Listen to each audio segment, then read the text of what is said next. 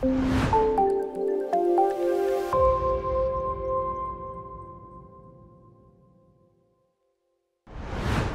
and welcome to Enigma Sightings. I'm your host, Alejandro Rojas. I am the head of content and research at Enigma Labs, where we're building an app to record sightings so that researchers can do further analysis so we can have a better understanding of UAP. And we have a special guest today, another pilot, but this time from Europe, from the Netherlands. Um, so help me welcome Christiaan Van Heijst. Hello, Christiaan. Hi, how are you doing? Great to have you. Doing well. So, uh, to start off, maybe you can tell us a little bit about yourself. Uh, you're a commercial airline pilot, maybe the routes that you fly, and then uh, what else you like to do. uh, well, first of all, thanks for uh, for having me. I think it's wonderful to uh, to have a non-US pilot talking uh, about these subjects as well from my European perspective. Anyway, I'm uh, I'm from the Netherlands. Uh, I'm an airline pilot for the last 20 years. I'm currently captain on the 747.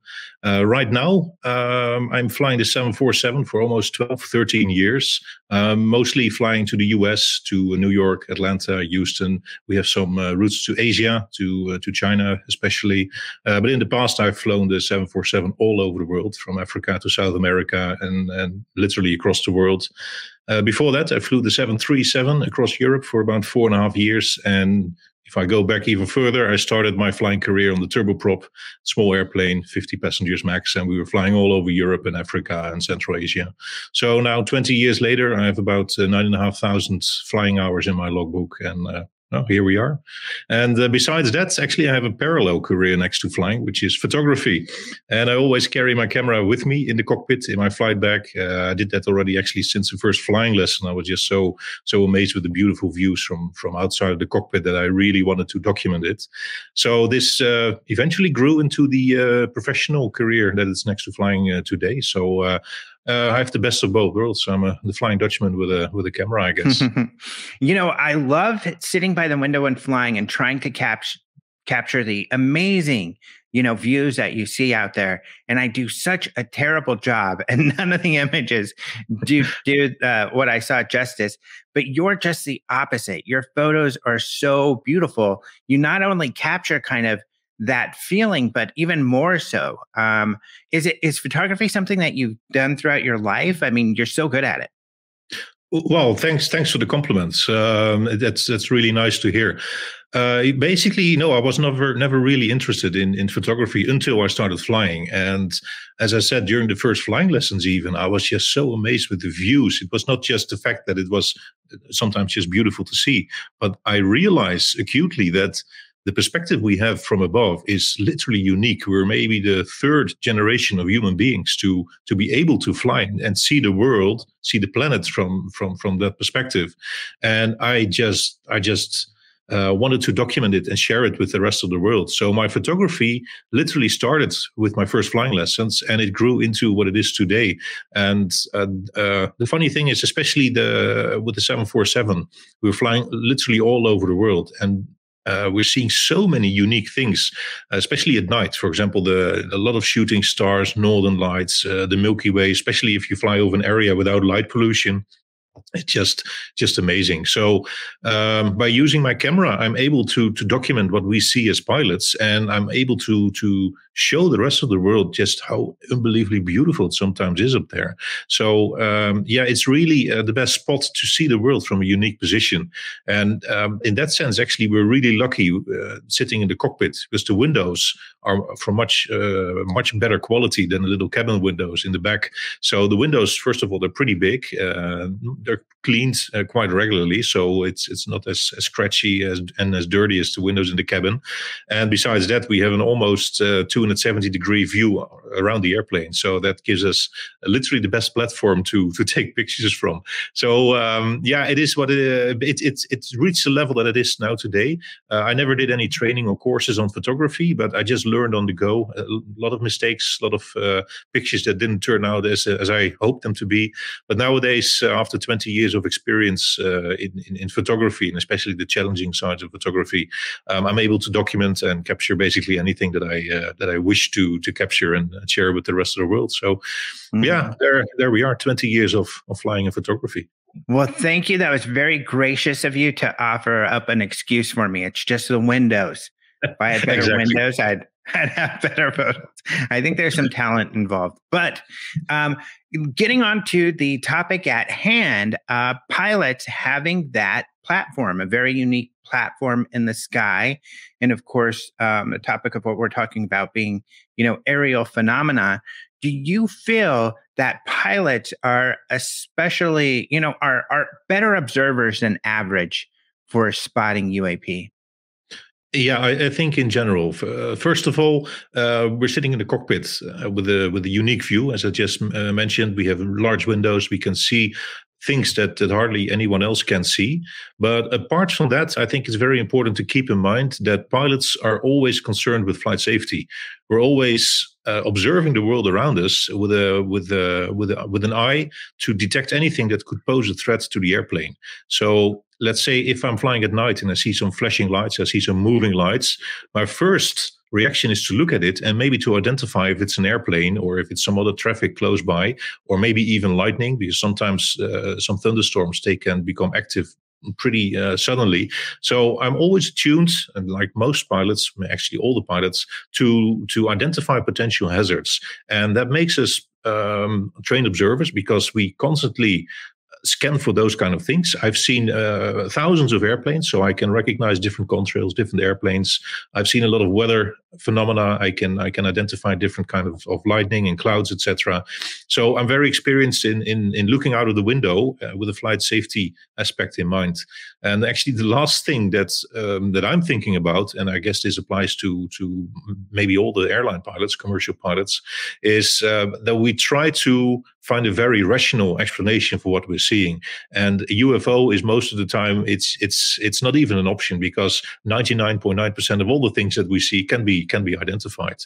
So in general, that makes us trained observers because we're professionals at work and we uh, we have the safety of the airplane always uh, as a priority. Mm-hmm.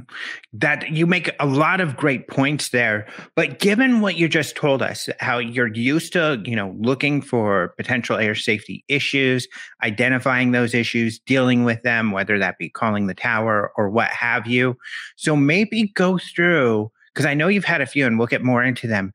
But the first instance where you saw something where these processes are going on in your mind you know what could this be? Could it be this? Could it be that? But you just couldn't come to an answer. Um, maybe you could walk us through that first uap sighting yeah, yeah, exactly. And um, the funny thing is, the first UAP sighting, I'm not, I'm not even sure if it's a UAP because, uh, frankly, I have no clue what it is. Uh, was just after I finished my uh, my training as a as a co-pilot on the first job I had. So I was very inexperienced in in flying, especially flying commercial airliners. And uh, I was a co-pilot on this turboprop. We were flying over southern Germany. Uh, it was late evening, or maybe uh, maybe already at night. Anyway, it was it was um, very dark, and we were flying between two cloud layers. And all of a sudden, I'm looking in the direction of my captain. Uh, maybe he was even an instructor. It could be that I was still in training.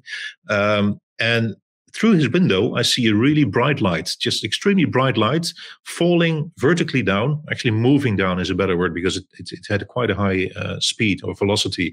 And it was falling down vertically. It was illuminating the cloud layer below before it fell through, and it just disappeared from sight.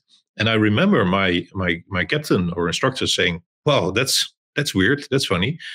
And for a long time, I I was wondering what it was, but I thought, you know, I'm just new to the job, and I'll probably see this stuff every every once in a while, and maybe I can even identify it at one point. Um, but in 18 years' time, I haven't seen any kind of weather phenomena, anything anything else that could explain this this this this vertically moving light. Um, so that was my first sighting, and as I said, I was I was kind of naive, and I thought this is probably something that I can identify later on, but I've never been able to find a, a, solid uh, explanation for it. And interestingly enough, uh, another UAP sighting I had was back in 2000, uh, I don't know, 2008 or nine, maybe. I, I, I, have to look up the dates, but it was almost identical. It was the same. Uh, same kind of light, a, a, really bright light moving vertically down. In this case, we saw it from the uh, Boeing 737, during day there was a perfectly blue sky. There was no clouds whatsoever no no no thunderstorms anywhere around and we saw this really bright light, maybe 20 miles ahead of us, just slightly off the of our of our course, and it was falling vertically into the Adriatic Sea. I, I couldn't see a, a splash or anything um, happening on the surface of the ocean or the water because it, it it was pretty far away, but it was a bright light moving at exactly the same speed or rate maybe as the first time I saw it. Uh, there was, uh, as I said, there was a couple of years after after my first sighting, and then I really realized that it was it was kind of peculiar. And the same reaction from my captain again. I remember she was saying, "Well, that's strange." So twice I've seen something that is that was very similar, and twice the reaction from my from my colleague was uh, surprise actually. So as I said uh, before, I always try to identify what I'm seeing. I'm trying to uh, to to to to recognize other airplanes to see if there's maybe traffic ahead of us, maybe military activity. It could be a rocket launch, or it could be could be um, uh, some people pointing lasers at, at the cockpit because they want to blind the pilots.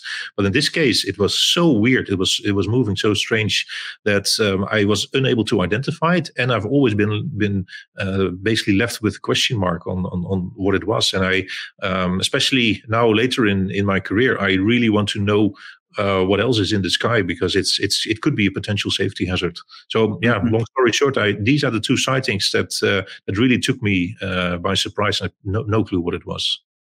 After that first sighting, so you're you know newly trained, uh, a new pilot. Were did you share that sighting with anybody? No, no, and I didn't really um, take it serious. I didn't. It, it, didn't really struck me as something uh, anomalous, actually. So for a long time, I was I was thinking about it. I might have told maybe some of my colleagues, like, "Oh, I've seen this. Do you know what it is?" Um, but no, nobody was able to come up with a solution. And frankly, I didn't really uh, think about it that much. It was always in the back of my mind, always wondering what it could have been. Maybe, maybe some kind of a, a ball lightning or something else. But yeah, basically, it was just in the back of my mind, and I didn't really give it any uh, any attention anymore. And the same actually applies to to most of the of the uh, let's say UAP sightings I had in the past. Um, as I said, you know, I, I am I'm, I'm always thinking about what it could have been. It was always kind of in the back of my mind, but um, yeah, you just leave it at one point and you don't think about it anymore. And it was actually after I saw the interviews with uh, Commander David Fravor and Lieutenant Ryan Graves that I realized that even these military pilots are sometimes seeing things that they cannot explain, and they try to approach it in the same rational way. And it was only at, this must have been late 2020. It was only at that moment um, that slowly my own sightings and experiences came back to the surface again, and I started to to question them again in a in a different uh, perspective. Mm-hmm. Interesting. You know, you bring up uh, David Fravor, who was uh, one of the jet fighter pilots who engaged uh, the object that was seen in the Nimitz event, which was what, like 2004. Ryan Grave, a Navy pilot uh, who was involved with incidents in about the 2012, 2015 kind of area. But in the Nimitz situation, they actually caught the objects on radar at first, and they described something similar to what you're describing um, objects that were seen um, at a high altitude that dropped very quickly. Um, that's what they were seeing on radar in the Nimitz before they they scrambled the jets, and uh, David Fravor was able to kind of engage that large tic tac object. Well, what, what struck me as well is uh, in the, um, I think it was Commander David Fravor who mentioned that the object was not only seen but also uh, uh, tracked by radar, and apparently it fell um, from 80,000 feet to sea level. And apparently, what I what I understood is that the 80,000 feet was the upper limit of the of the radar system. Uh, so it showed up at 80,000 feet on the radar, and it just fell down. But it could have been actually originating from much higher because uh, the, the radar just probably didn't didn't register it uh, beyond that. Um, for me personally, I only saw the object falling vertically down, but it only became visible once it passed, uh, um, let's say, into sight from the upper window frame. So it could have been originating from um, maybe slightly higher. It could have been originating from low Earth orbit. I have absolutely no clue. That the only thing that that we can see is basically the world, the world through little slits, like like like the cockpit windows we have. So um, yeah, where it originated and, and how how high it's it's it's it started to fall down, I have no clue. But it sounded very very uh, similar to what to what he uh, uh, explained. Yeah. And uh, just so the audience is aware too, when we use the term UAP, um, I'm essentially using it the same way that uh, the AARO has been using it, or the the government and Congress has talked about it, which is something that is immediately unidentifiable. Doesn't mean it won't be identified. It just means, you know, it's something that we currently can't identify. And then sometimes after investigation still can't identify, like the Nimitz incident or with these recent Chinese balloons, you know, with the Chinese balloon, we were able to identify that. So there is a distinction that's important, just so the audience is aware. But moving on to your other UAP sightings, how many have you had in all? In all, I have four sightings that I still cannot explain. Uh, as you mm-hmm. uh, as you mentioned just just before, there might be a moment that some of them can be explained, and I'm, happy to to hear the uh, the the explanations for anything that that we're seeing. But uh, all in all, I have four sightings that were significantly enough to uh, to pose as a, as as a UAP. I must say, I've seen some some funny things sometimes in the sky that I haven't been able to identify, but um, they could easily be something that that uh, that that that are pretty mundane. So, for example, to give um, uh, once or twice, I've seen some stars uh, just just disappearing all of a sudden uh, at night, and it sounds kind of interesting, but um, I'm I'm really I'm, uh, I'm, I'm, I, I, do think it's sometimes sometimes something something prosaic, like maybe um, a geostationary satellite that's reflecting light until it's just maybe tumbling or turning, and then it, it doesn't reflect sunlight anymore, and it could show up as a as a star in the night sky and disappear. So these things, are, let's say, they're still unexplained, but um, I don't see any any UAP um, uh, explanation for it. But that, having said that, so there are still four things that I've that I've seen that that defy an explanation. So, mm-hmm. including mm-hmm. the, the two lights that we just uh, talked about, the falling lights. And did you report any of them? Um, no, actually, this uh, well reporting um, twice. I've asked uh, air traffic control if there was any military activity, and I told air traffic control what we were seeing. Um, once it was this was actually the the vertically moving lights uh, over Greece.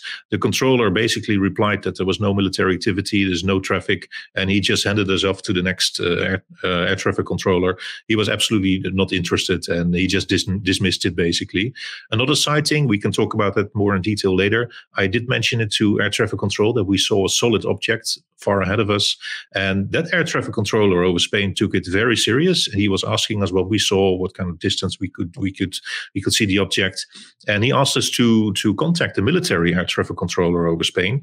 Uh, he immediately was very interested, this military guy, and uh, basically he confirmed that there was no other traffic and absolutely no activity, no weather balloons, just absolutely nothing around us in a thousand mile radius, at least ahead of us.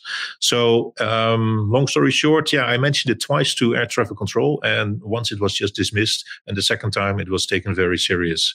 Um, it doesn't really. Um, yeah, it doesn't really mean uh, reporting. For example, we don't have any systems in place in, in, in the world or in, in let's say in aviation uh, where we can report these kind of sightings. And uh, every airline, including uh, my airline, they have a really solid safety system. So if there's anything safety related uh, that could could potentially pose a problem, we can make a report about it, and then the company starts to investigate. It could maybe change procedures, or uh, you, you you name it. There's a there, there's a whole system behind it. But something like a UAP, and especially if it's not a, a direct threat to the airplane, it's not something that an airline can do anything with. Uh, it's like reporting to my chief pilot that I saw the Northern Lights. Well, he said he's probably going to reply like, "Well, yeah, happy for you, but it's, it's completely useless for us.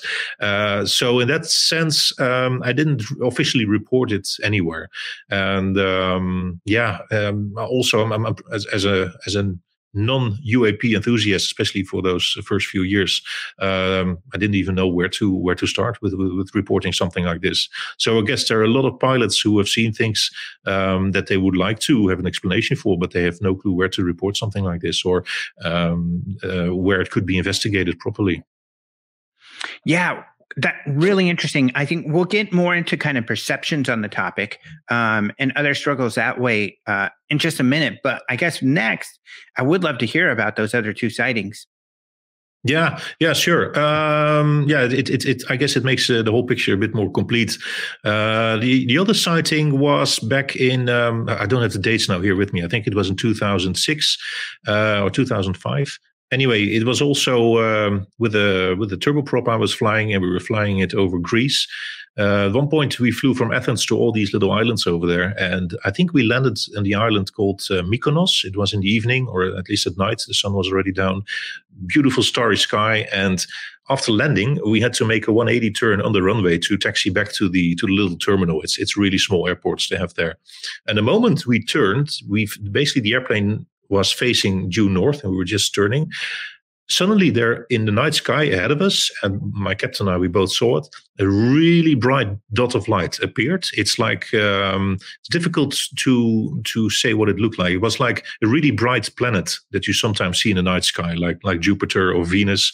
It was it was very bright and it was about the same size i guess but more solid. So it wasn't really glowing like some of the planets uh, appear for the human eye but it was a really solid white light it appeared and it disappeared. It reappeared three more times. So in total, we saw it in a stuttering motion, uh, appearing and reappear, reappearing four times um, at, a, at, a, at, a, let's say, distance about uh, four times the width of the, of the full moon.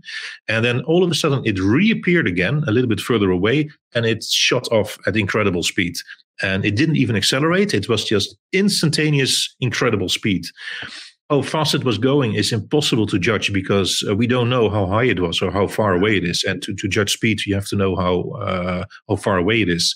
But let's say, um, because actually we could see with with our eyes uh, that it, whatever it was, it was far away. So as, as I explained to you before, we as pilots are always looking out of the window, trying to judge speed and, and altitude of other traffic and other uh, clouds maybe uh, um, around us. In this case, we could see it was it was far away, but if it was at twenty thousand feet, thirty thousand feet, or maybe even low Earth orbit, absolutely no clue. But let's say if if if it was another airplane, if it was flying let's say at 30,000 feet, which is a normal normal altitude for uh, commercial traffic, the instantaneous speed would have been uh, Mach 30, I guess. So that's about 30 times uh, the speed of sound, wow. which is, uh, to my understanding, uh, it's it's a high, um, it's, it's such such a high speed that there's not even any um, technology that can that can produce that kind of acceleration and, and speed yet. So I was really really surprised. A little fun factor: um, that night there was a huge uh, part of the airspace closed just south of Greece uh, in the Mediterranean. And that was because the US carrier group with the USS Theodore Roosevelt was passing by.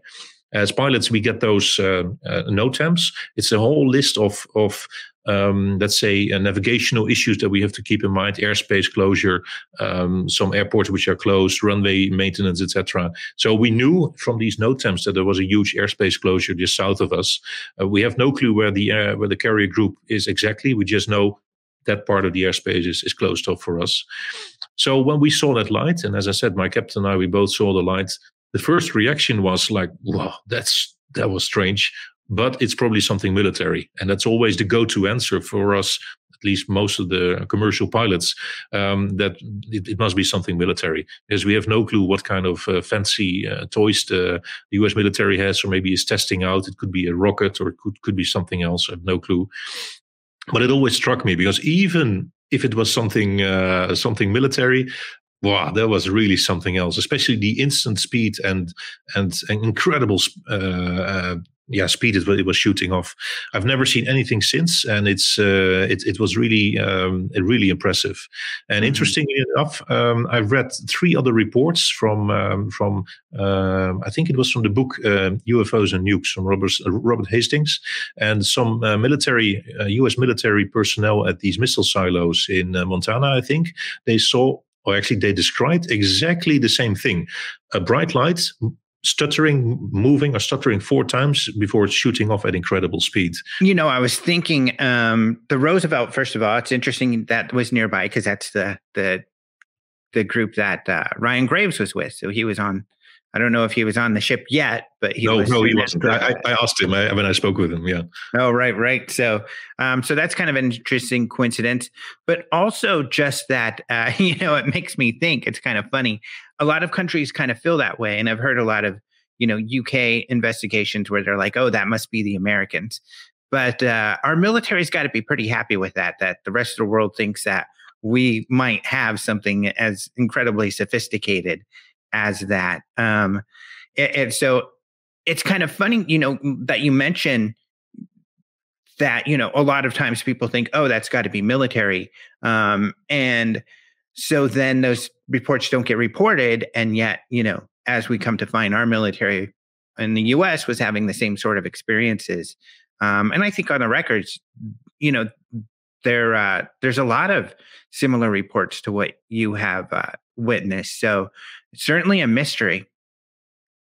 Yeah, definitely, definitely, and it's. Uh, um, I, I, think it's always good to, to, keep in mind that a lot of these things are seen by by by pilots, uh, sometimes even taken serious, but they're always being dismissed. So I think it's very important that this topic becomes um, more. Uh, how do you say this? Like it, it has to get out of the fringe uh, uh, area. We have to be able to to to identify um, yeah different things, either military or not. But some some of the lights we see, uh, even some some of my colleagues have seen physical objects. they're definitely not uh, not not mainstream military military toys. So I, I think it's very important for um, yeah for many pilots to realize that that not everything can be can be dismissed as military. Mm-hmm. So, getting into the force sighting, one thing I think is interesting to note is, I mean, you fly a lot, right? You're up there a lot. Uh, about how many, and, and the point I'm trying to make is that um, even though you have four sightings, which is certainly higher than average, you spend a lot of time in the air. So it's not like you're seeing them a lot. This four still represents, you know, one out of very many flights, right? Yeah, and interestingly enough, it's only um, uh, during the first, uh, let's say, the first five years of my career that I've seen some some things I cannot explain. Uh, mm. I've been flying the seven four seven now for uh, for almost twelve years, and, and or actually over twelve years now, and I haven't seen anything UAP related or anything strange uh, that I that I cannot find a mundane explanation for in the last twelve years, uh, which is interesting because now actually I'm flying long haul distances, literally around the world. So yeah um, it was especially in the first three thousand hours of my flying career that I that I saw these uh, these sightings, and um, yeah, it's it's uh, it's difficult to pinpoint the amount of of, of sightings per uh, per flying career, maybe or per uh, per thousand hours. And some of my colleagues they have seen really interesting things, um, and um, yeah some of them they have they haven't seen anything. I mean, it's some pilots they're not even looking out of the window. So yeah, it's it's impossible to see anything then. But it it really depends. I have a fourth sighting as well, which is the only one that I was able to document with my camera. Was in January 2010. Uh, yeah, it was January 2010 when we were flying with a 737 Boeing 737 passenger airliner from Amsterdam to Malaga in the south of Spain. Um, for those uh, who are familiar with uh, with Europe, Spain is the, is it it's part of the huge Iberian Peninsula in the south of Europe, and it's about I guess fifteen hundred miles or fourteen hundred miles from north to south. Anyway, it was already evening. The sun uh, was already setting below the horizon, and there was just this beautiful orange yellow uh, hue in the sky ahead of us. And all of a sudden, my captain, he was a very senior guy, he's asking me, hey do you see that object as well ahead of us? And i really had to had to, uh, had to had to do my best. And all of a sudden i saw really far in the in the in the distance ahead of us a small um, flat dark object ahead of us. And um, which was really strange because uh, i'll give you the, the, the context. The moment we entered the spanish air airspace the air traffic controller cleared us direct to malaga which means that we're leaving the airway that all commercial traffic is normally using, and we were just in a in a, a random route, let's say, directly to the airport of, of Malaga. Um, and so the moment we saw this this this object ahead of us, we were really wondering if we were looking at another airplane because we were flying there on a on a on a on a non-standard route, and it would be uh, quite a surprise to see another airplane ahead of us. Also, we were flying at forty-one thousand feet, which is which is quite high for uh, regular traffic, and there are not too many uh, commercial airplanes flying at the same altitude or even higher. But the object we saw was above the horizon, quite far above the horizon, and it means that it must have been flying much higher than we were flying. Uh, let's say roughly around uh, 60,000 feet if it was some airplane ahead of us, let's say 30 or 40 miles ahead of us. So we, re- we were really intrigued in, in, in this object and we're really wondering what it could have been. Uh, we didn't have any traffic on our navigation display. We have all, all, commercial airplanes and also, I think, even military airplanes. They have this uh, TCAS system, which stands for Traffic Collision Avoidance System. And it shows all the traffic around us in a mile, let's say in a, in a, in an 80 mile radius around the, uh, uh, around our airplane. Um, as as little dots and it gives the information about the the altitude of the other traffic ahead of us. But in this case there was absolutely no tcas traffic on our navigation displays. So whatever it was it was flying uh, very high and it didn't have any tcas on it if it was let's say within uh, within 80 nautical miles uh, of our airplane. So I was looking at it, and maybe after 10 minutes, I just decided to ask the air traffic controller if there was any traffic ahead of us because it didn't look like uh, any any other airplane I've ever seen. And the Madrid air traffic controller, he replied immediately that um, no, he didn't have any other traffic ahead of us, and he was asking us what we saw. So I explained to him, it's like there is a solid object ahead of us. It was backlit, so we could see that it was at least within our atmosphere. Uh, it was a solid object ahead of us. It was not moving uh, relative distance of our airplane, and it seemed quite high. So we were just interested in what kind of airplane it could have been because it's we're all pilots, we're all interested in in airplanes and uh, and, and especially the exotic ones flying really high. And he explained that there was no known traffic, but he asked us, actually, he urged us to contact military air traffic controller uh, on a different frequency and tell him about our sighting. So this was getting um, uh, more interesting. So uh, I, I, tuned in the other uh, frequency on a different radio, and I talked with the military air traffic controller, and he was really interested in what we saw. He was he was interested in in in the, in the object, in the relative distance, bearing, uh, if it was moving, if we if we if we could see it uh, changing shape, maybe. absolutely nothing. Which I, basically I told him we just see something ahead of us, and we have no clue what it is. So we were wondering what kind of airplane uh, could reach that that kind of altitude and, and has that shape.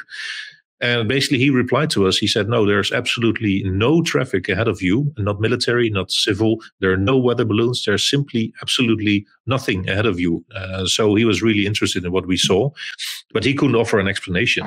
So for the next uh, 55 minutes, more or less, we were flying on a direct routing to uh, to Malaga until we descended into the clouds during our approach for the airport. I was able to take uh, two pictures uh, of the object, and uh, I'm the first to admit that this uh, this picture is kind of uh, uh, fake and underwhelming. But the fact that we uh, that we saw it for such a long time, it was flying at that altitude, makes it uh, makes it an interesting uh, picture. And also a fun fact: the the file, the, the photo file, is now being analyzed by members of IPACO, which is a French organization run by by people who are always also working for uh, GEIPAN and um, yeah, they're analyzing the image to see what it what it could have been. They have uh, specialized software to to analyze these kind of pictures. And what what made it really interesting for me was the fact that military air traffic control was very interested in it for, in the first place, and that he confirmed that there was absolutely no known traffic ahead of us. Because if I wouldn't have had that feedback from the military air traffic controller, um, I probably would have shrugged my shoulders and and and not think anything of it. But the fact that they were really uh, really on top of it and he wanted to know all the details uh, told me that uh, he took it serious, and that, that was quite interesting. Mm-hmm. Really, really strange. You know what's interesting is that the more um, interesting cases like that one um, seem to typically entail objects that uh, are in the distance um, as opposed to, and so they don't necessarily pose an immediate um, flight safety issue, um, which could be why this subject's been ignored for so long. Um, Chile is actually a country where they've gathered some experts to talk about the intention. And do these things pose uh, a flight safety issue, and they decided no that really the biggest issue is is distraction, um, which is kind of interesting, especially given that um, most recently uh, this situation that happened in the U.S. with the Chinese balloon and then the other object shot down. Um, they were shot down because they did pose a threat in that they were in the you know thirty to forty thousand uh, altitude range, which is right where commercial airlines are. Um, so it's kind of an interesting dynamic in that looking for UAP, we kind of expose that perhaps there's more in that air safety range floating around than we expected, but not the weird stuff. Yeah, definitely, definitely. And in that sense, I'm actually very happy um, with the news coverage by the mainstream media about these balloons, because uh, first of all, it's uh, it's interesting to see what's happening now worldwide. It's uh, it's an interesting uh, uh, development on the on the on the, on the world theater. Uh, but for the first time, I was I, basically I saw a confirmation on the mainstream media that there are things floating in the sky. And I guess that um, some UAP sightings, maybe even a lot of them, uh, could be tracked down to, to those kind of balloons being spotted by pilots. And instead of um, laughing about pilots seeing something, now we basically know that there is stuff floating in the air, sometimes even at the same altitudes that airplanes are flying. So I think it's um, it's suddenly taken very serious because uh, we physically have objects that could a threat, not just for national security but also uh, flight safety. So it's uh, it's an interesting development, and I'm really happy to see that uh, this basically if this happens right now, and we're slowly losing the um, uh, the fun factor about UAP, and and it's it's it's serious. It's a serious topic. Hmm. And you know, with your last sighting, especially, um, it's really tough to come up with what that might be, other than what you all kind of often default to, which is some high tech, you know, secret project. Um, and if it's not that, what is it? That's what you know is so interesting. I, I think that um, and maybe you would agree, we still haven't gotten to the point, besides Fravor's case, where the media has really picked up on some of these more um, exciting and mysterious situations like yours. Because certainly, you know, those, all four of your sightings, those were not balloons. No, no, definitely. Uh, the lights they were they were uh, peculiar. They were moving. I'm not even saying falling, but they were moving at, at, at really high speeds. The the stuttering and shooting light was was very strange as well. Um, and this this object over Spain was uh, was in a completely different category. And I must say, what makes it so tricky, and this is uh, this is this is a valid point for a lot of debunkers and people who are skeptics. Um, it's very difficult for me to to judge the size and and distance and altitude of these of these uh, lights or objects. For example, the the the Spain over sorry the object over Spain. If let's say if it was another airplane flying 20 or 30 miles ahead of us, um, it it it could have been uh, the size of maybe a 747 or something like that. But then again, as I explained before, uh, for me as a pilot, it doesn't make sense that it, that it was an air, another airplane. Then again, if it was an object that was maybe um, maybe over Africa, maybe two, three thousand miles ahead of us, it must have been huge, and it must have been at extreme altitude. It's it's it's strange, you know. If if all the pilots were seeing exactly the same things all the time, it would be easy to draw a conclusion my sightings are actually pretty mundane. I have some some colleagues who came forward to me with their own sightings, and they describe really, really different things. So sometimes even um, objects pretty close to the airplane. It's it's it's just it seems to be a, a, a very varied um, phenomena, whatever it is. And, uh, and, and mm-hmm. actually, I, I think we uh, we're not even talking about one phenomena. I think we're talking about many different kind of things. Uh, I, I, I still think that some of the sightings that are being made by pilots um, are a genuine military tech that's being tested or being flown. Um, I, I, think some of the sightings are spy balloons or weather balloons. I mean, it, there, there's a lot of stuff happening that's that's not open to the general public to know, and, uh, and that's that's fine with me. I guess uh, some of the sightings, maybe even lights, etc., could be down to uh, uh, let's say a weather phenomena, maybe maybe a ball lightning, something that doesn't happen often, but that that can still be seen and um, and misidentified. But then again, there are still some things, including the the, the stuttering and shooting light that I mentioned before, that is still uh, an, a genuine unknown to me. And I think we have to be open to. Uh, to to to realizing that there might be might be stuff out there that we that we simply cannot identify right now. Mm-hmm. Now, when you reported, was there any sort of ridicule, or are you all um, dissuaded uh, by your airline from reporting things or, or talking to the public about these issues? No, no. I uh, also because uh, frankly, I, d- I never reported it to the airline. These these lights that we saw, the uh, even even the object that we saw over Spain, it never posed a threat to us. So there was no no need to report anything.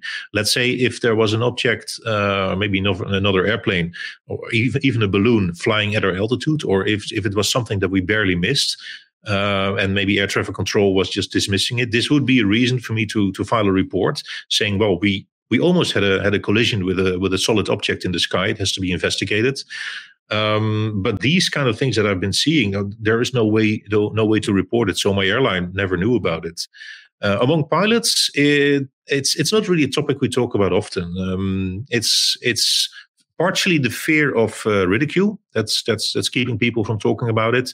Uh, partially because um, some of my colleagues are simply not open to it. They just say, well, it, whatever it is, is probably something military. Or it's it's a rocket, or they just don't even want to discuss it. Uh, but it's only um, it's it's actually an interesting uh, an interesting one. In 2014, I uh, witnessed and documented a huge group of red lights over the Pacific Ocean.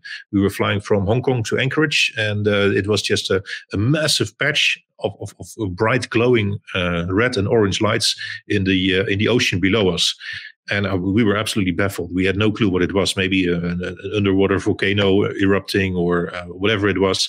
I took a lot of pictures, and I I, I, think I, I, put them on Facebook back then, and it it it went viral. It was picked up by a couple of journalists, and they wrote articles like "Pilot is looking at underwater UFO base," and "Pilot is is documenting UFOs."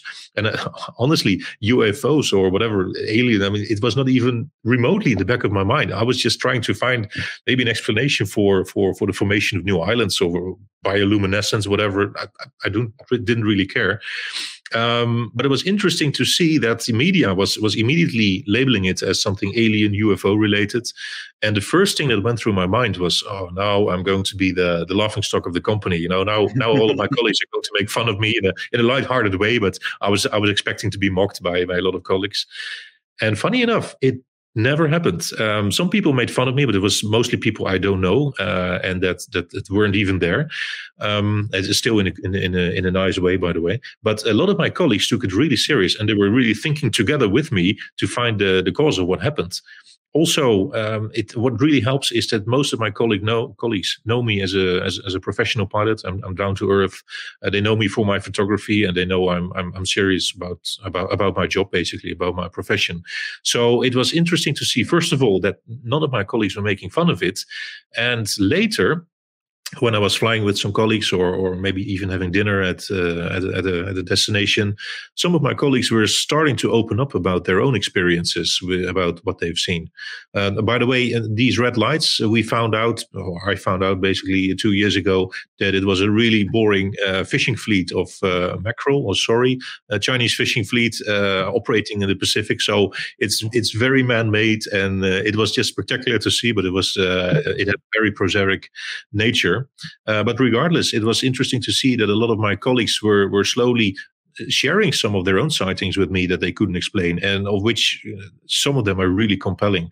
Um, so it showed me that um, many pilots are are um, let's say slowly opening up to to to some of the things we've seen in the air. And it's it's partially the stigma around UFOs uh, that's that, that that's preventing people from talking about it but it's also partially the um, the fact that some some pilots they don't want to be seen as as unprofessional or some pilots just just don't want to admit that there's something seen or or or uh, a witness that they couldn't couldn't explain possibly with all of this excitement um, in the U.S. over this topic, um, has that reached you know Europe? Are, are, are, people kind of, and pilots in particular, more interested in getting to the root of this issue out there and following uh, the Americans, or what is the sentiment?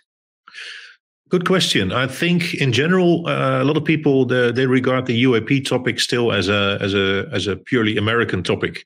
Um, a lot of movies about, uh, let's say, aliens or or science fiction movies, they always depict the United States, um, and it's it's it's simply not taking t- taking that serious. Fortunately, uh, as we both know, since about 2017, the UAP topic is uh, is slowly being docu- uh, being told by uh, the mainstream media, um, still with a kind of ridicule factor. But here and there, some people are picking it up. But I must say, in general, it's not really a topic that that I hear many of my colleagues talking about, and I think uh, here in Europe, um, it's like a niche uh, sector for, uh, for, for for the media to talk about. It's not really discussed that, uh, that that that openly, and it's only, as I said before, you know, it's only after I.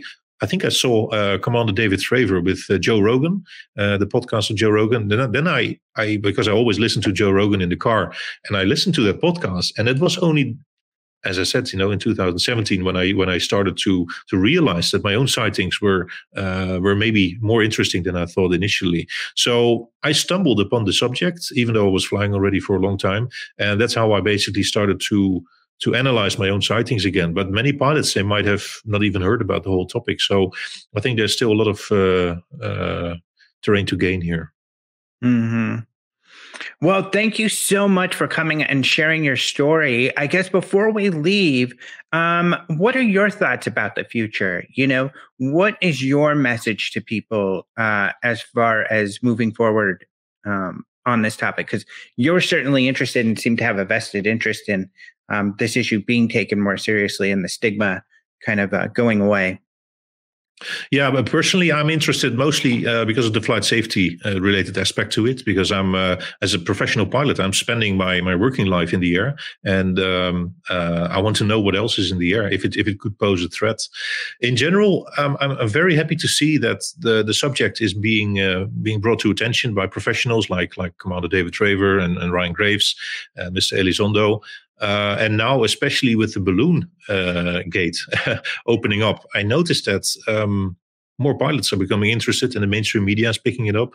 So I hope that the subject will uh, lose its its uh, its fringe factor um, because it's it's it's so important to keep talking about this and um, i think yeah, well, I, I, can only hope that, that that the topic will will reach more mainstream uh, media channels and um, hopefully also more professionals, maybe even outside of aviation, uh, will start to speak up and and and, and share their. Uh, uh, their experiences. Thank you so much to Christiaan for being on the show. Do check out his website and his links. Um, his photography is absolutely gorgeous. So I highly recommend you check that out.